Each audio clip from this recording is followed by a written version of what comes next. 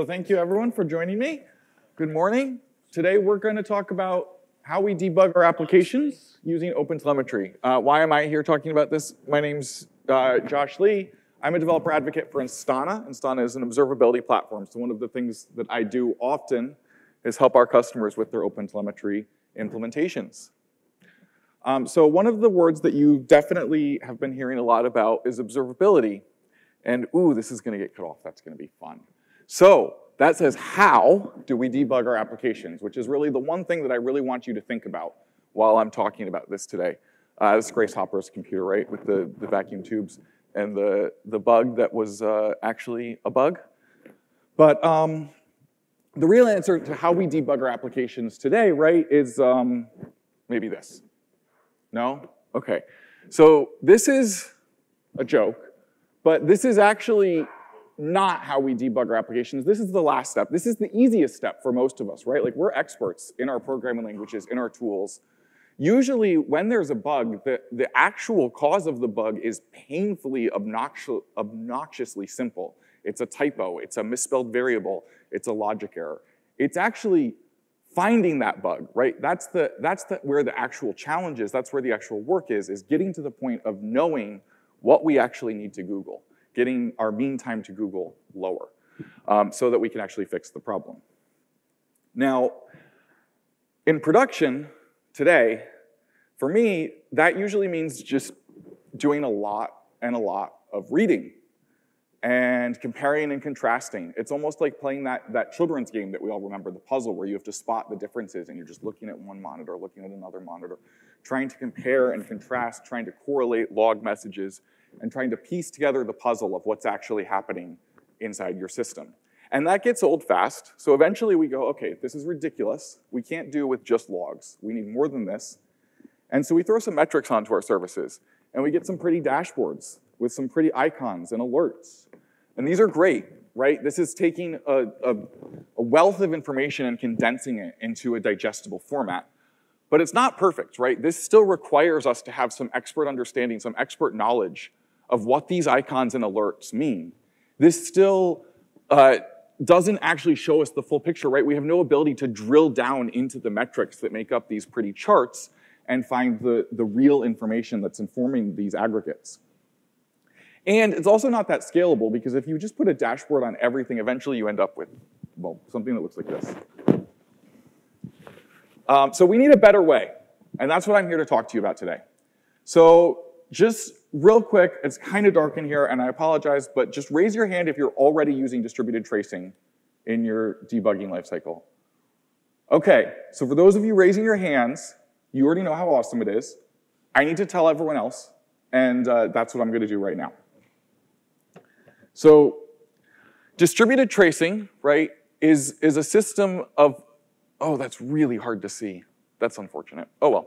So distributed tracing follows request flows through our system, right? We can imagine each one of these nodes as a different service, and if we could see this better, we would see the lines going between the services, and we would see that this one over here has a little red circle on it, that one has a red circle on it, right? We need something that jumps out at us like this. We need a map that tells us exactly where the error is. So here's hopefully a slightly better view of what a distributed trace actually looks like. Maybe we can fix this. Okay. Um, so a trace is really just a collection of spans. A span is some work that happens inside a service that's interesting to us as a developer. Um, and each time that service then calls another downstream service, whether it's a message queue, a database, another microservice, right, we get another span. And we get this, this almost waterfall view, looks like Chrome developer tools, right, of the request flow. So this is great this is really useful, right? If you're trying to do some, some performance analysis and figure out where the latency is in your system, we can immediately see the value in this visualization. We can also immediately see how errors would sort of flow up to the top. So if we have an error in one of these downstream services, we can immediately identify where that error is. Um, and I think there's, there's more to this than we maybe initially understand from its simplicity. This is so much of the work that happens in debugging an incident response, right, is getting to this point of knowing which services were involved, which customer requests caused the issue, and, and then where do we go from here to fix it. So, okay, how does tracing fit in? Right, traces, uh, so what this says, right, I, I, just wanted to really briefly review the fundamental characteristics of our telemetry signals. Traces are request scoped, right? They follow a user request through the entire system. That's the, their really their defining characteristic. Um, metrics are aggregable. We can do math with them. That's really nice. And logs are just a timestamped record of events. They're very verbose. They let us put in as much information as we want, and we can grep and search for that later. Um, uh, one thing I do want to point out, observability, right, is not signals. This might look like the three pillars. I'm talking about this because it's going to become relevant when we're talking about OpenTelemetry, not because this is what observability is. I don't know if Charity Majors is here yet, but if you want to read more about that, her blog is excellent. So, okay, we have our three signals that OpenTelemetry currently supports, metrics, traces, and logs. Metrics are great for answering the question, is there a problem, right? They give us alerts, they tell us there's smoke. When we see smoke, we, we know there's fire, and we can dive in and start investigating. Logs are great. Once we have the right log message, they're great. They tell us exactly what the problem is. Oh, database connection not available, uh, syntax error, right? Whatever it is, that, that's it. Then we're, we're mostly done. But finding that log message, again, is the challenge, and that's where traces come in. Where is the problem occurring? And most importantly today, who is the domain expert that can actually help address this problem? Um, so, stepping out a little bit, uh, when I talk about observability today, I'm not talking about those three signals. If I say the word, I really just mean, can we understand what we're looking at? That's the goal. Can we look at something and understand why it's doing what it's doing? And uh, with that in mind, it lets us answer questions like what did the user experience? What was the latency of their experience? And uh, what error messages might they have seen, right? So, so we're starting from a digital experience, a user-centric point of view, and then tying that back to, okay, well, what did, what, what did I do? What did my team do? What do I have responsibility for that contributed to that experience? And what infrastructure might that be running on, right? And what else within the system could have contributed? So this is another case where having the complete understanding of what services call what can really come in valuable. So a common error that I've heard, I've heard multiple stories of people resolving what I call the bad neighbor scenario using distributed traces. So the bad neighbor scenario would be where you have a process running on a node that is doing something sneaky but bad, like con consuming resources in a way that doesn't immediately jump out at you, and it's affecting your other services running on that node.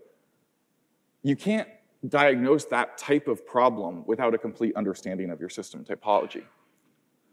So that's why I really think distributed tracing is, is the killer app for observability, right? This is why the OpenTelemetry project started with distributed tracing. It's because it lets us answer questions like, it lets us understand things like how the requests flow through our system. From that, we can create an entire topology of what our entire system looks like. And we can derive metrics from our traces, right? Like if a trace is uh, there for every single call within our system, we can get our RED metrics very easily from that. And we can enrich logs. We can make our log messages that are important very easy to find by attaching them to a trace. So that brings us to the OpenTelemetry project, which merged OpenTracing and OpenCensus beginning in 2019 and has been paving the way forward for open source observability as a universal format, right? And, uh, oh, darn, you can't see that either. Austin Parker's here. If you find him, he's got some really awesome pride stickers with the OpenTelemetry logo. Definitely grab one. Uh, okay, so this is the state of OpenTelemetry, right? Observability is not about signals, but OpenTelemetry very much is. These are the three signals that are currently supported and, and how far along they are in the, in the development lifecycle, right? So tracing really is there. You can use it today in production, a lot of people are. It's awesome. Uh, metrics are coming along. Every time I show this slide, I have to update the metrics column because it's been uh, moving along very quickly. And logs is coming, right? Maybe we'll get to talk about that in a more interesting way next year. But it's more than just tools, right? The OpenTelemetry project, really at its heart, one of the most important things is the specifications that it provides. So that's things like the language APIs, how we inter actually interact with the telemetry signals. OTLP, right? This is the format that the telemetry signals actually get sent on over the network in. And trace context. This is a big one. This is how we actually propagate, right, the, the request IDs through our system so that we can under, so that we can have each service know what came before it and, and create the correct spans. Um, and then the semantic conventions, right? Naming things is one of the hardest things in software development. So semantic conventions are great. They give us a, a starting point for how we should name our things so that we can use them uh, interoperably and portably. We get the language SDKs. These, these are technically a specification also, but they're also the implementations that we're going to actually use within our programming languages and our services. The instrumentation libraries that actually connect the uh, frameworks and libraries that we're using, the events in those libraries and uh, ORMs and so on, connect those to the actual OpenTelemetry APIs and emit events. The OpenTelemetry collector, which is the pipeline tool for gathering and, and exporting your telemetry data to your backend services. The Kubernetes operator, which of course is, is very useful for automatically creating and configuring the collector within a Kubernetes cluster. Um, it can also do some automatic instrumentation of your services, which is cool. And it's the community, right? It's the CNCF. Come talk to us in the Slack, come participate, come hang out in GitHub. It's events and meetups like this. And it's the end user working group and other special interest groups that you can join through the CNCF. Um, the end user working group in particular is great for real, real use cases and stories from actual people using actual OpenTelemetry in production. Okay, so what does this actually look like? It's very simple, right? This is a very simple graph. We have our services, they send telemetry to the collector, the collector forwards it to the backend. If you're using a vendor, right, this might, you might replace the collector with like a vendor's proprietary agent, but generally this is what it looks like. So I'm not here to tell you what your job is. If you're dev or ops, I don't care. But you're gonna have really three parts that when you're setting up OpenTelemetry that you're gonna need to touch whoever it is on your teams that owns these things. You're gonna have some stuff in your code, you're gonna have some stuff on your node, and you're gonna have some stuff that you maintain right somewhere else. Maybe your platform engineering team takes care of that. Um, on your nodes with an asterisk, because you might not be running daemon set, right? Like you might be running a collector pool, but, but you kind of get the idea, right? It's a, it's a shared resource amongst the services. So these are the things that go in your code. These, this is what you run on your node. And importantly, right, that's where you're gonna get your infrastructure and start to tie together the user experience, the application level concerns with the infrastructure and ops concerns. And then finally, you're gonna export this all to a backend like a vendor or Jaeger, Prometheus, and Grafana are all open source and awesome. So making this a little bit more OpenTelemetry specific, right, that graph we were just looking at, we have our services, we have the API, the SDK, and then within the collector, we have receivers, processors, and exporters. We'll look at those briefly in a moment. And then finally, we export our telemetry data to a place where we can actually do useful things with it and start to do some of that compare and contrast analysis debugging.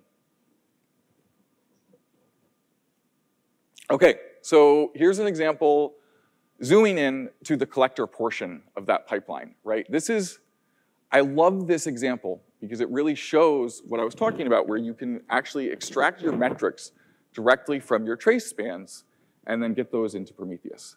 So this is just an example of one pipeline with receivers, processors, and exporters. There are actually other processors in the pipeline that I'm gonna show you later. Um, one of the most common ones, of course, is the batch processor. Um, there are samplers, there are um, filters, right? All kinds of things that you can do with processors um, but I just wanted to demonstrate that the processors don't have to operate on a single, on a single signal type, right? They can, they can be cross-cutting. Okay, so how did we get this? Well, I'm gonna show you now an example from uh, the OpenTelemetry demo project. Um, so I'm, I apologize if you can't read this. It's, I wanted to show the whole thing on one slide because this is it. This is the whole implementation of OpenTelemetry for one of the services within the OpenTelemetry demo project. This is maybe two dozen lines of code, right? And most of it is just that, that array with the, the resource detectors duplicated. So let's talk about the first few lines of this real quick. So first, we're just requiring, right, the, the OpenTelemetry libraries. And then the auto instrumentation, right? So that's what takes the framework that we're using, in this case it's Next.js, and converts all of the incoming requests and outgoing calls into telemetry spans for us automatically so that we don't have to do any more manual instrumentation than just including this file in our program.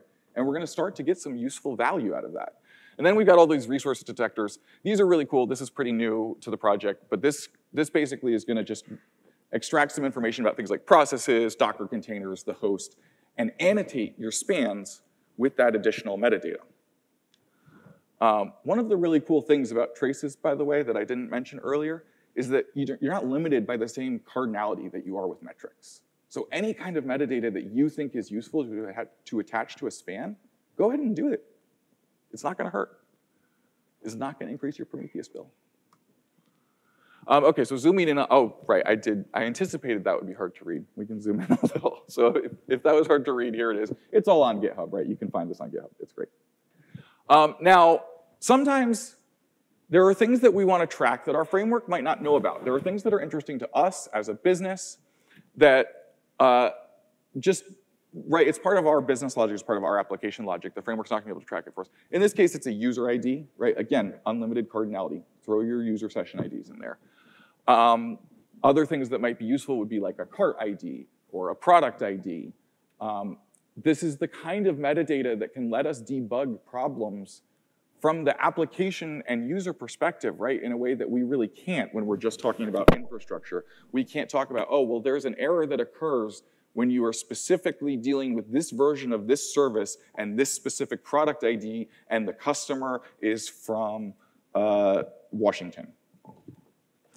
Uh, so traces have all that metadata. Traces actually have that story built into their, their data structure. This is the, I guess, more ops side of this, right? This is how you configure the collector. It's just YAML. Again, this is on GitHub. Apologies for the slides. Um, oh, we can see this a little better. So I zoom out a little bit better, right? And you can see, so basically for each signal type in the collector, we're just defining a pipeline, and the pipeline is just those receivers, processors, and exporters that we saw in the, in the diagram earlier. Each one comes with a few configuration options. Uh, usually if it's an exporter, it's gonna be something like the endpoint and the additional headers that you need for um, authentication. So that's it. That's the whole thing. It's, it's really that easy. Like I, I can't stress this enough. Just like if you're not doing this already, not all of you raised your hands right at the beginning. Just go do this. Implement distributed tracing if you have a distributed system. You will immediately benefit from it. Um, and final, the final step, right, of course, is forwarding the data to the backends of your choice for storage and analysis. So we're gonna look at that a little bit. Um, before we do, some common challenges and pitfalls. You're not going to fall victim to these because I've warned you, and you're also not going to be able to read them because the slides are cut off, so I'll have to read them to you. But, um, so the first is duplicate or excess data, right? This is especially common if you're using OpenTelemetry in conjunction with a vendor um, or in conjunction with other open source tools. Be very careful that you're not duplicating any data um, as it can actually confuse the backends and confuse your engineers when you're trying to debug. So you wanna make sure that you're only emitting one span for every interesting thing and that every service is only instrumented with one technology, whether it's OpenTelemetry or something else. Another challenge that I hear a lot is incomplete or missing data, right? Traces are only useful when they're complete. If you have a trace that is incomplete because the workload hopped over a, a message queue or, or, a database that was untracked, right? Um, you're gonna lose the context of that request scopes, all the work that, right, that happens for that request, and uh, you're gonna run into roadblocks and your MTTR will start going back up. Uh, changing and differing specifications. This is a problem with anything, but especially in open source, right? The community tries its best to not make breaking changes, but occasionally we learn things that require us to make breaking changes, and then you need to adapt to that and, and update. Um, and then also, it's a big community, right? OpenTelemetry supports, I believe, 11 programming languages. So there's, there's going to be some, inevitably some differences in how those things get implemented, um, despite the specifications, and you're gonna have to deal with that. And then Another one is the correlation of siloed signals. So it's great, right? I'm gonna show you an example with Prometheus and Grafana and Jaeger, Jaeger and Grafana, sorry, as the visualization tools. Um, be really, really cool if I could tie those things together, right? And like that's just not something that's there with open source yet, but I hope that it will be. I, I think that would be awesome. And the last challenge that people have that I hear about is a lack of actual examples and best practices, but the community has your back there. So this is where my demo code came from, the OpenTelemetry demo project. Uh, go check it out, contribute, run it, um, copy it, copy, right, copy the examples. There's manual instrumentation examples for every single programming language supported by OpenTelemetry except Swift, for obvious reasons. Um, the project uses gRPC for intra-service communication and also for sending telemetry. And each service uh, shows examples of, of manual instrumentation, manual span annotation. The project uses Redis, Postgres, and Kafka, so you can look at tracing examples across all of those uh, downstream services. And it even shows an example of front-end tracing, which is kind of experimental right now. And uh, this is what the, the front end of the store looks like. Um, that's, that's really all I have for you today. So, um, oh, no, that's not. Here we go. One example of a, a Jaeger span right from the OpenTelemetry project. And we can see we have these custom attributes. How did those get there? Right, it's this easy. You take your span, you get it from the context. Okay, context, that's an, this is um, implemented differently in every programming language. So how you actually access this variable is gonna depend on the programming language that you're working in. It maybe gets passed to your request handlers. Maybe it's a global variable like in JavaScript. Uh, but you get to grab the context thing, and basically it just has a parent ID that says this is the, or trace ID that says this is the trace that, or the span that my spans are children of. And then you can add whatever metadata you want um, so why do I love OpenTelemetry? Because uh, of the open source instrumentation, because you get portable and vendor neutral telemetry formats. You can benefit from the experiences of others, right? With auto instrumentation, people have already thought about what are the interesting paths that we need to, to instrument and emit spans for, and you get all of that wisdom just by including the library. And then finally, we get these interoperable tool chains, right? Like maybe one day someone will build the open source tool that lets me visualize my traces and metrics all in one place. Wouldn't that be awesome? OpenTelemetry makes it possible. Okay, that is really all I have for you. Thank you very much.